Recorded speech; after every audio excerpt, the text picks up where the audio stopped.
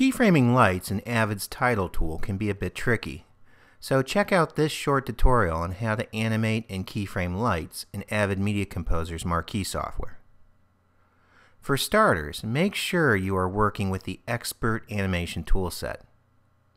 Next, make sure you have an object selected within the canvas area.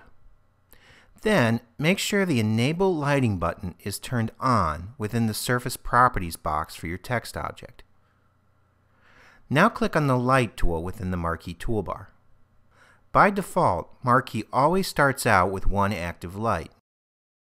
Notice how the light affects the selected object.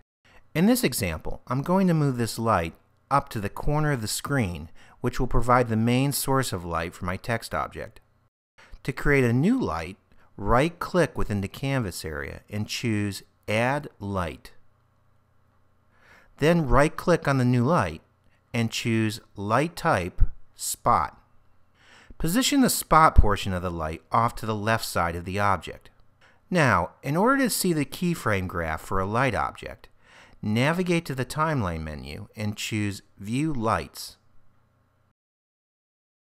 Then navigate to the bottom right of the timeline and click on this button, which is officially called the Collapse button.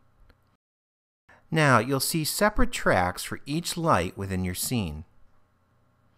Go ahead and select your second light within the canvas window and then navigate back to the lower right corner of the timeline. Click on the Show Curves button for the highlighted track.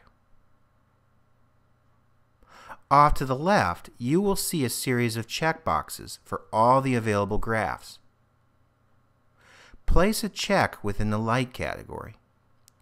This will allow you to see a graph for the spot part of the light. So now you will notice the red graph line will move as I move the spot for the light. Now a quick side note, if you want to see a graph for the light object itself, that's part of the transform category. However, in this example, let's focus on animating the spotlight portion of the light. Click on the Animation Mode button within the Marquee toolbar. Move down to the timeline window and move the playhead indicator forward one second. Then move the spot portion of the light off to the right side of the text object. Notice a keyframe was created based on the position of the playhead indicator. Okay, now you can see you've got an animated spotlight. Now go ahead and turn off the animation mode button. Navigate to the Properties window and click on the Light tab. Go ahead and adjust the spot size and the intensity of the light. Notice how the graph within the timeline moves based on the adjustments that you make. Okay, there you go. For other great tips like this, or to enroll in a certified Avid Media Composer training class, visit geniusdv.com.